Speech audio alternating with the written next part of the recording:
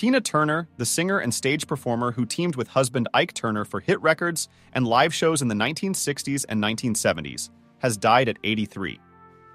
Her death was confirmed by her spokesperson, Bernard Doherty, on Wednesday afternoon.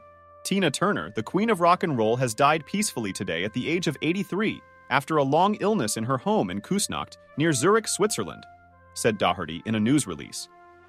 With her, the world loses a music legend and a role model. He said Turner will be honored at a private funeral ceremony. A photo was shared on Turner's Instagram announcing her death. Verified.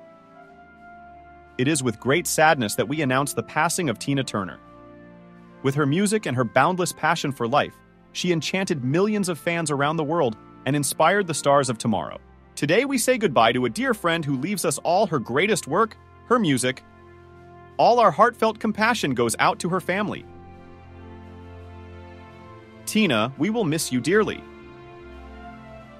Turner was born Anna Mae Bullock in Nutbush, Tennessee in 1939 and rose to fame in 1960 with her performance of Ike Turner's A Fool in Love.